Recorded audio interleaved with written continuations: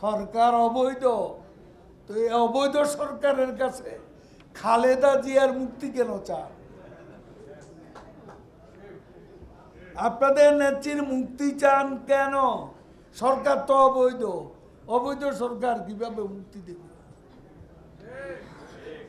কথাবার্তা একটা রাজনৈতিক দল সীমা রেখার মধ্যে বলা উচিত। রাজনৈতিক প্রচলিত আচরণ বিধি আছে।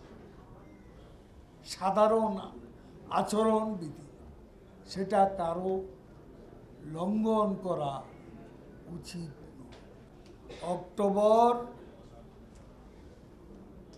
এখন চলছে।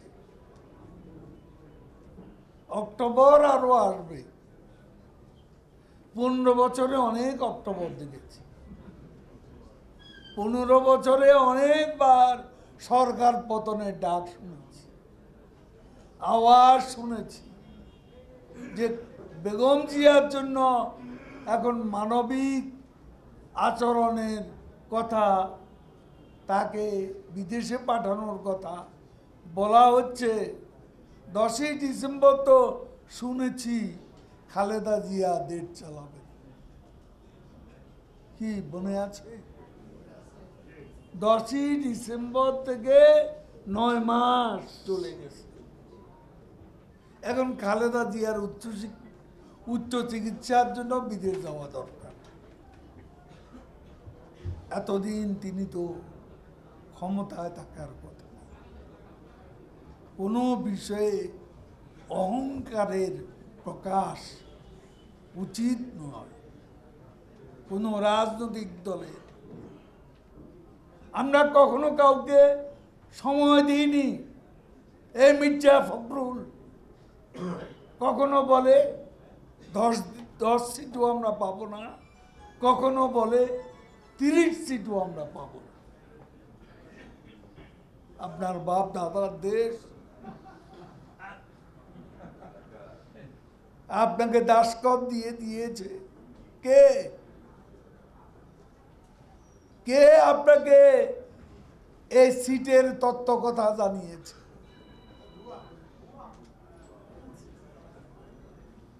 একবার বলে দশ, আপনার নেত্রীও একশো বলেছিল, একশো বছরেও আওয়ামী লীগ ক্ষমতা আসবে না। আপনার নেত্রী একশো বলেছিল, সরকারি দল তো দূরের কথা, শেখ হাসিনা বিরোধী দলের নেতাও বলে নাই? এইসব দম্ভের কথা, অহংকারের উচ্চারণ আমরা অনেক শুনেছি। আমরা কিন্তু কাউকে বলিনি। তোমরা এত সিটও পাবে না, এত সিটও পাবে না। কখনো আমরা দম্ভ বলে এ ধরনের উচ্চারণ করিনি, কারণ রাজনীতিতে এ ধরনের হিসাব জনগণের সম্মতি ছাড়া, রায় ছাড়া আমাদের কারও করা সমীচীন যারা এখন আমাদের পতন দেখছেন, এই অক্টোবরে তাদেরই পতন হয় কিনা, সেটা একটু ভেবে নিজেদের পতনের জন্য অপেক্ষা করুন। ভুলের রাজনীতি আপনাদেরকে পতনের দিকে নিয়ে যাচ্ছে। আমাদের শিকড় মাটির অনেক গভীরে।